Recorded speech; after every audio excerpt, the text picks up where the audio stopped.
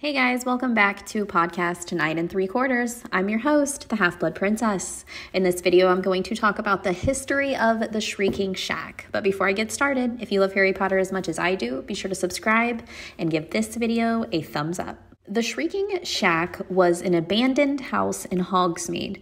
It was only used so that Remus Lupin could have a place for his monthly transformations into a werewolf in secret, and in safety, Madame Pomfrey used to escort Lupin to the Shrieking Shack before his transformations. Villagers used to think the shack was haunted because they heard screams coming from the inside.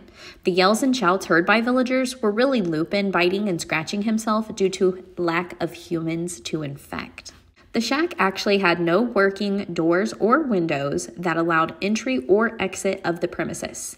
The entrance was through a tunnel under the Whomping Willow on Hogwarts school grounds. This allowed Remus to pass through unnoticed. One year, Sirius thought it would be funny to lure his arch nemesis Severus Snape to the shack where Lupin was due for his monthly transformation. In order to eliminate Snape from spying on them, James saved Severus in time, but not before Snape witnessed what Lupin was, though he was forbidden from telling anyone else. In 94 was when Hermione and Harry were led into the Shrieking Shack when Sirius Black, as a dog, dragged Ron off into the underground passage.